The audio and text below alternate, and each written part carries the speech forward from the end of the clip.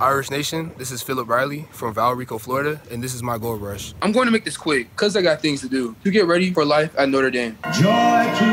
First stop, Thanksgiving meal with the family.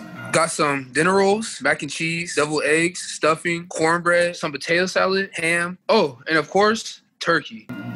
Meet the family. So this is my stepdad, Tredrick, mom, Tiffany, Hello. my brother, Tyreek, and my brother, Daniel. My puppy, Hunter. We got him, he was two months old. He's about a year now. When I'm relaxing, you can usually find me in our pool or playing Skyrim, doing homework, or making TikToks.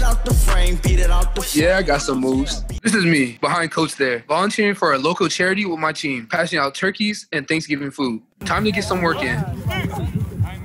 When you go hard, you end up with a few battle scars, but it's worth it. This is me at Rivals Camp. I did all right. I mean, after this, I became a four star. So that's a little bit about me, Philip Riley from Valrico, Florida.